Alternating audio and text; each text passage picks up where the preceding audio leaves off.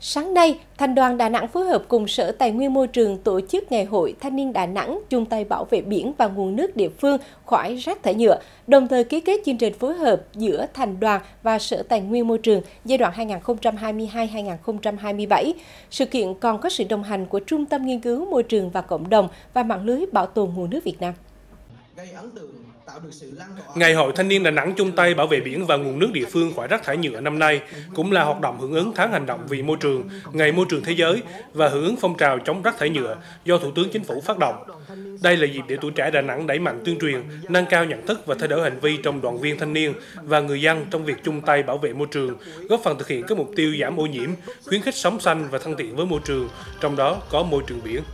Chúng tôi sẽ giao cho năm phường, mỗi phường phụ trách một tuyến đường, à, đăng ký với quận đoàn ừ, vào đầu dịp hè và sẽ thường xuyên duy trì việc ra quân ngày chủ nhật xanh sạch đẹp. Bên cạnh đó thì chúng tôi cũng tập trung à, dọn các khu vực à,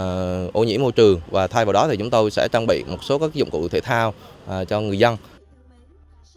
Tại chương trình, Sở Tài nguyên và Môi trường thành phố và Thành đoàn Đà Nẵng cũng đã tiến hành ký kết chương trình phối hợp thực hiện nhiệm vụ trong lĩnh vực tài nguyên và môi trường giai đoạn 2022-2027 nhằm tăng cường sự phối hợp giữa hai ngành trong các hoạt động quản lý, sử dụng hợp lý tài nguyên thiên nhiên, bảo vệ môi trường và ứng phó với biến đổi khí hậu, phát huy vai trò xung kích tình nguyện của thanh thiếu nhi tham gia bảo vệ môi trường, thực hiện có hiệu quả các nội dung của đề án xây dựng Đà Nẵng thành phố môi trường giai đoạn 2021-2030.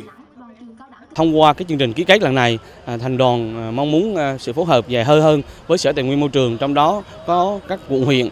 các đơn vị trực thuộc của thành đoàn và đặc biệt các phòng tài nguyên môi trường. Qua đó thì hỗ trợ cái nguồn phần, phần lớn cái nguồn lực của ngành tài nguyên môi trường cho các bạn đoàn viên thanh niên để qua đó tuyên truyền đến cho bà con nhân dân ra quân tại các điểm nóng của trên địa bàn khu dân cư hỗ trợ à, À, tuyên truyền và đẩy rộng hơn nữa các mô hình à, của rác thải nhựa chống rác thải nhựa tại à, đoàn viên thanh niên tại khu dân cư. Thiết thực triển khai các hoạt động bảo vệ môi trường, Thành đoàn Đà Nẵng sẽ tập trung ra quân xử lý 56 điểm ô nhiễm môi trường tại khu dân cư, xây dựng 15 tuyến đường xanh sạch đẹp, tuyên truyền nâng cao ý thức người dân bảo vệ nguồn nước, ra quân vệ sinh môi trường, tôn tạo cảnh quan tại 27 nghĩa trang, nghĩa trũng, bia tưởng niệm trên địa bàn, triển khai phong trào sinh viên Đà Nẵng nói không với rác thải nhựa, mô hình chuyến xe kế hoạch nhỏ, phân loại rác thải gây quỹ giúp bạn.